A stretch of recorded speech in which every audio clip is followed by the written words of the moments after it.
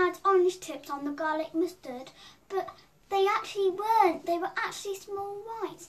And this is the tray we had the, the plant on, and they've been making chrysalises underneath. Look. There's one here that's made a chrysalis already, and it's very fresh.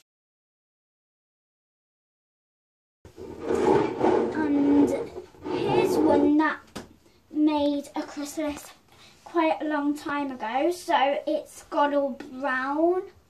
Look.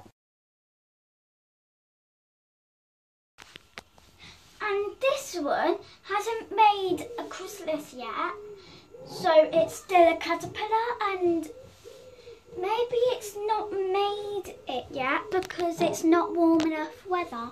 And if it's not warm enough weather, if it's warm enough weather, um, it would make it more quick. It would the caterpillar would make a chrysalis more quickly, and if it isn't warm weather, it would make it more slowly. And that's what this one is.